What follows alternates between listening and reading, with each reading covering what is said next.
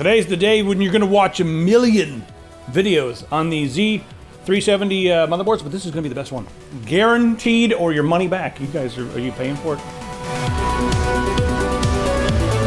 All right, so this is the Z370 Professional, uh, and this is the Fatal1ty Edition, which is pretty much the top of the line gaming board from ASRock right now.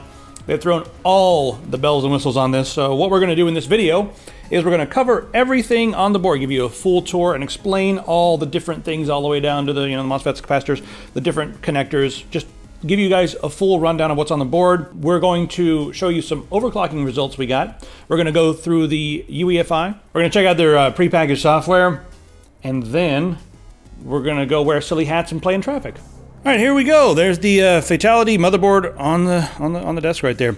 So you see, we got the sort of more of a minimalistic compared to a lot of gaming motherboards as far as the I/O, I mean the I/O area, and just the whole you know general shield and ID goes. The color Let's, scheme is very very muted. Yeah, it's no longer the red I'm a gamer thing. So it's sort of they've grown up. After 20 years, Fatal1ty has decided that you know he doesn't want his boards to just be giant red masses of ocular cavity ocular destruction. So we just lifted that off so you can see what's going on underneath here. I think a lot of people are going to immediately, I mean, other than the new bells and whistles and features, a lot of people are going to wonder, you know, what, what is the quality of the components around the CPU? So let's talk about um, the VRM here. And as you can see, CPU is going to go right there. 40, 40 lanes, is that what it is? 40, 40? 40 lanes of yeah. PCI Express from so that's CPU. nice. And we're going to be using that all over the place. But first off, let's go through starting with the 12K caps right here and just show you guys what the VREGs are like. Yep, so we've got Nichicon 12K caps, the black caps, the Japanese ones. Everybody loves them, everybody uses them. ASRock has been using them on their high-end systems for a long time, so it's not any surprise to see it. Now, behind that, we've got 60 amp alloy chokes. These things, again, ASRock's been using them. They're great. We love seeing them. 14 of those Sinopower FETs running on an Intersil 7-phase 450 amp ISL 69138 VRM controller. Lives over here, kind of a strange spot, but you know, there it is. So they say it's a 12 phase, so you got a couple extra phases for probably the iGPU um, right there. Uh, we got, you know, of course, power right there. We have a couple different options for CPU fan. We got CPU fan, and then over here, you've got a, a pump connector, all PWM. Another uh, fan down there, chassis fan. Another fan, lots and lots of fan connectors. Up here, we've got a little switch for the XMP. Uh, of course, there's the RAM. I totally skipped over the RAM. No one cares about RAM, right? Yeah. Just ASRock only lets you run it at 8 gigahertz if you can do that it's in the UEFI. You guys saw it. yeah, the UEFI is a bit ridiculous with this, but uh, I'd say you'll probably be getting you know 3,000, 4,000 without much trouble on this, depending on your configuration. Um, 24 pin power connector right there. USB 3, USB 3.1 Gen 2 for the front right there. Another L connector for another USB uh, 3. Then we've got eight uh, SATA connectors over here, all your different hard drives. Moving on down to the bottom, have power and reset on board. And then we've got all your front panel connectors and then some, you know, LEDs. And then there's the RGB connector right there. Fans, USB 2. That is going to be your Thunderbolt header. And the TPM uh, beside that. We actually have a spot where you can clear your CMOS right here with a jumper, old school. Oh, yeah. yeah. Then over here, let's move over into the audio section. So over here, you've got your uh, front panel HD audio, and this is amped for up to 600 ohm uh, headphones. You got some specific audio caps there, and the PCB is separated. You can see as the little line right there separated out. Um, and that's going to be a, um, a Realtek, I believe it's the ALC 1220, 1220 on there, and it's also running some creative software, 120 signal noise ratio as far as the decibels on that go, so that's pretty fancy. And I guess it's about time to check out the PCI Express slots and the M.2. So they're really using all of those lanes right here. And you see we've got three slots. What's the configuration? I forget. It's a 16. So 16 for, for one, then it's eight and eight for two, then it's eight for four, right? Yes. Hey, I got it. All right. And all of the M.2s can run at either SATA or PCI Express Gen 3 X4. And I would expect some NVMe RAID on these things. So we've got uh, three of those right there, and that's where you're going to be using all your lanes. Some super high speed, and this also works with uh, the Intel Optane. Mm-hmm. And that'll allow you to put one of the Intel Optane sticks in here and then just speed up whatever you're doing on your slower hard drives your yeah. mechanic spinning discs and that sort of thing. So that's kind of a cool new technology they've got going on here. Then you get your 1X connectors right there. And uh, this is going to be all covered up by the, the shield, and that little guy right there is just a plug for the LEDs that are inside there. So, uh, anything else I missed there? Turn around and look at the back. this heatsink mm-hmm. is a 10 gig Ethernet. Oh yeah, that's that's what we got right there. 10 gig Ethernet. We'll show you the back now. So on the back, got your audio connectors, SPDIF, and all that. And then we've got gigabit, gigabit, and also 10 gig. That's ridiculous. With teaming support in Windows 7 RS2. So you got teaming, and you also have ASRock software for packet prioritization if you wanted to use it, and have you know like 1B for Twitch and 1B for your game, so they don't mess with each other. But teaming is also going to be great if you wanted to do with 10 gig. Jesus. Yeah. And teaming on the two one gig, I mean, you could have like two gig with teaming on that. So The 10 yeah. gig can also operate as a 1 gig, so you can actually have three 1 gig connections all teamed up. So the rest of the back here, which will give you a really quick overview, you've got some USB 3 you can see there. There's USB 3.1, Type C, uh, and regular 3.1. And um, then we've got the DisplayPort, HDMI. You guys are looking at two antennas for their, uh, uh, that's the 1811 uh, AC. And also, this is on another M.2. You can actually remove this if you take the screws off the bottom and you want to maybe either upgrade or install something else there. But we got two antennas there. And then behind that, we've got PS2 and a couple more USB plus a CMOS reset button right there. It's hard to see, but you got to take my word for it. So one of these is actually going to be a fatality, quote unquote, uh, like a high speed or whatever USB port for gaming peripherals that need extremely good response times. Yeah, so low super, latency. Super low latency USB port for mice. You can use the PS2 port for mice or keyboard with a Y cable. There's this option in the UEFI that you've seen or will see. And uh, if that doesn't do the trick for you, you can use a USB with the Fatal1ty software and, and just have a low latency mouse connection there. All right, one of the things that's really cool about uh, these ASRock boards is a lot of them have, and this one does have, uh, the BCLK engine on board. And that what that allows you to do is it allows you to overclock uh, using the strap rather than using the multiplier. If you have an Intel chip that's a non-K part, you generally can't overclock those. Back in the day, you used to be able to go in and just mess with the, uh, you know, the, the I guess front side bus really and and overclock it. But Intel kind of locked that down.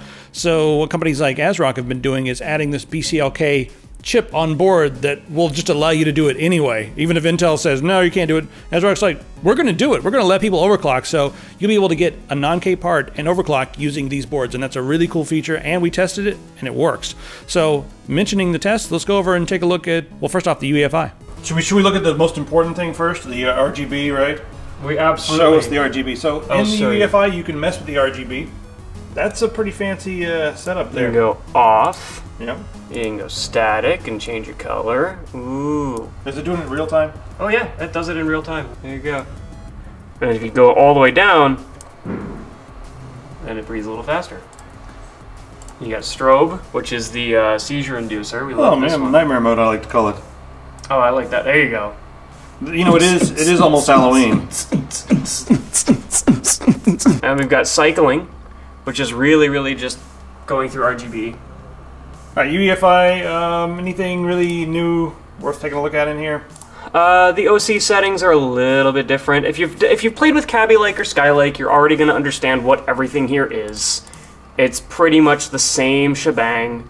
You got all the same settings. Some are missing. Um, I've noticed that a couple of the VCCIO settings are missing from Kaby Lake, but honestly, it, stuff that you wouldn't be playing with normally. Still got XMP profiles for DRAM. You've got BCLK. You've got speed settings for whatever DRAM speeds you want. These support up to 433 officially, but or 4333. It's got stuff that's in there for LN2 or whatever. Yeah, but you can go up to. I mean, there's settings all the way up to 8 gigahertz if you want I- it. Why? Okay, I guess if you wanted to. Yep, and then you've got your timing. This is something that I think changed from the last generation. Tighten up Which- the timings a little bit. Yeah, the timings are a little bit more accessible. They're not quite buried into a menu as much as they used to be.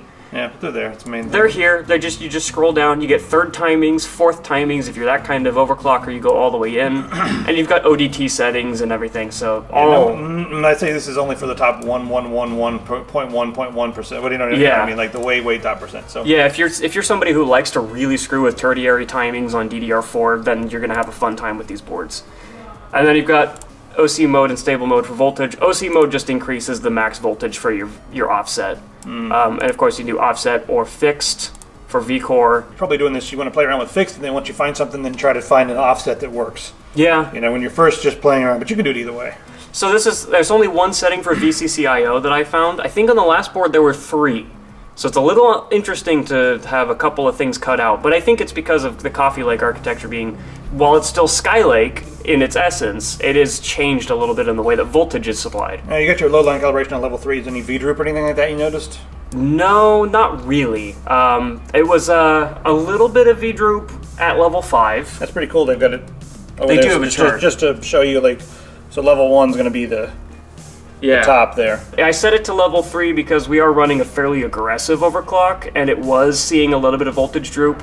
Um, and setting it to level 3 kind of kept it at the higher end. It did force a little bit more voltage through than I'm comfortable with, but the temperatures were fine, so I left it alone. There's a couple of different temperatures where they start doing micro throttling, and then they go to full core throttling, and then they go to full die throttling. And then obviously you've got your CPU configuration, everything tells you everything you need to know about your CPU.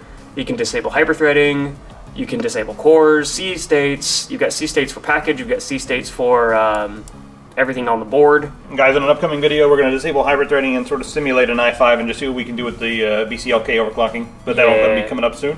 That was a that's a fun one. You're gonna you guys are gonna love that. There's still a lot of good stuff linked to the chipset, despite most of it being on the CPU now. You do get a lot of good stuff. This board has a 10 gig LAN port, so you can enable that here. Um, HD audio is still to the front. You've got a couple of gig ports. They're each their own controller, so they all they both do their own thing, and you can enable or disable those there. Obviously, iGPU is still around because Intel, and uh, then you got a bunch of just deep sleep stuff you can mess with, and then PCI Express link speeds. Thunderbolt. These boards have a Thunderbolt uh, header on the board, so if you want to deal with that, you've got your options here just basically enables or disables it, but it's there. You get your PS2, so you can set a uh, Y cable for keyboard and mouse because it's only got one PS2 port and it's a combo port. And you've got all your suspending and um, and Wake on LAN and then USB configuration, which is fairly fairly straightforward. This board does have a special USB port for uh, low latency USB mice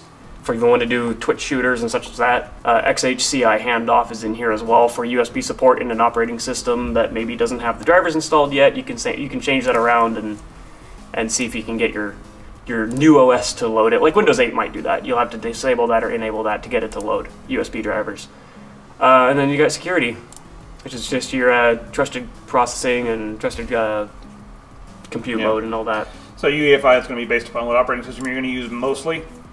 But And- you guys can come in and really get granular with it if you want to go into advanced mode. But RAID installer, this is the advanced mode. The standard mode is you press F6 to get out of it. That's your standard UEFI. Pretty well built for just you kind do a lot of of stuff in one spot. poking around. Yeah, you can d- enable uh, XMP, disable XMP. You can't do any overclocking, but you can do RAID mode. You can configure all your drives here, boot priority, Yep. and it's got a hardware monitor right here. And what button do you press just to go into the advanced? F6? F6. Hardware monitor with all the voltage information you need. You've got a fan tuning system down here, which you can set up anytime you want. And then boot settings here for hard hard drive setup, BBS, DVD-ROM if you have one, for legacy mode, which is probably going to be necessary if you're running Windows 7. I think this board does actually support fast boot on Windows 7, which is nice. All right, so that's the uh, UEFI. don't don't worry about it. Don't worry about it. Every at- time you say those words, it makes me worry. It might just be the devil himself. So if you click install all, you're going to get that crap, but most people are not going to install all. It's not like a laptop where it comes pre-installed with the bloatware. We installed the bloatware ourselves. We accidentally What- the internet. Just by clicking install all, but we wanted to show you guys the software, so let's take a tour of that. All right, so um, yeah, ASRock has an app store now. I'm gonna need to sit down for this. Come over here and take a look. So their app store doesn't have much going on. You've got the RGB LED software. You got some Sound Blaster stuff. I, I, I don't know. This is recommended, so I want to know how much. I mean, Norton obviously paid for that crap, but whatever. It's there. Chrome is recommended. This is actually handy. Um, you can update your BIOS, UEFI, whatever, some of your drivers, as media stuff like that. You can update stuff right here. Look at that latest version. Let's just go ahead and update this. So, check mark there. Hit update. We'll come back to that in just a second. A quick restart to UEFI if you want to just quickly go in there without having to hit the hit the delete key over and over again. Oh, there we go. There we go. It's tiny. You can't scroll it. It won't let you scroll. Oh, you have to be hovering right on the little thing. Okay, so you got your app charger. This this basically just ensures that you're you know sending as many amps of power to your phone as it can handle, and uh, that's an app there. Fatal1ty mouse port. That's I guess you need an app for that. Yeah, the Fatal1ty board has a single USB port for low latency mice. So Keymaster's pretty cool. Just gives you macro keys, sniper keys, and that sort of thing. It's free download. There's a bunch of little apps in here. XFast LAN, that's their, I guess, packet prioritization software. Pretty new and basic, but there it is. Free, go, yay. XFast LAN. Uh, this is the main thing I'm going to be using this for, is updating this stuff. So I'll go ahead and update the UEFI right now. Downloading the BIOS, and uh, that's very easy. Yeah, you don't have to go to their website anymore and find everything. It's just right there. Yeah, yeah, I, I want this on all the boards now. The rest of the stuff, well, whatever apps, if you want them, you can use them, but not really. The recommended apps, they're obviously just getting some money from Norton and stuff, but being able to do this and then update the uh, UEFI that easily, yes. Overclocking? We did some magical voodoo on the 8700K that they sent us, and we got some really cool overclocks. Not going to show you a whole lot of performance, we'll just run Cinebench for you multi-thread, but no single thread because that's for the video coming up. We ran 8700K at 5.1 on one core and 4.9 on all six with hyperthreading enabled. It's bouncing back and forth here, but if you look at hardware info, you can see we've got a couple of cores bouncing up to 5099.8, and we're gonna run a quick CPU test for you on Cinebench. We're running this on air. This is on a Noctua. I mean, that's a beastly Noctua. That's almost the equivalent of like an H100 as far as cooling goes, but not quite. Yeah. And with six cores, it's probably at the limit of what this Noctua can handle with this kind of an overclock, but it's doing it. We've got 87 on our hottest core, which isn't That's bad. up there, but it's still air cooling, and it's 5.1. on the But check core. our results. We're right below the Ryzen 7 8 cores at 1581. Now that's because the IPC is pretty high on this. Very high. So you got IPC, but you're using a lot of wattage on this. So it's a 95 watt. Well, we're running at 5.1, remember. So Right. 95 watt TDP suggested. And software isn't the best way to measure CPU wattage, we know, but just for a general idea of what we're going through, you know, 137 watts at our CPU package power. That's pretty high over the TDP. Yeah, way over the t- 95 up to that, yeah. So, there you guys have it. The ASRock Fatal1ty Z370 motherboard. It's really loaded. You're getting a lot for the money, but it's also going to be a lot of money for all these bells and whistles. And you can get similar performance at a lower price point if you sacrifice a few things. So, it's all going to be like how many bells and whistles do you need? And that's really going to be the story with, with this motherboard. If you want everything with whipped cream on top and chips, mix them together and stir it up, then there you go. That's the board for you. So it should actually be a little bit better for gaming performance now, uh, seeing as it has a higher IPC, but that's going to be with the CPU. Check out that video coming very soon. All right, guys, see you in the comments.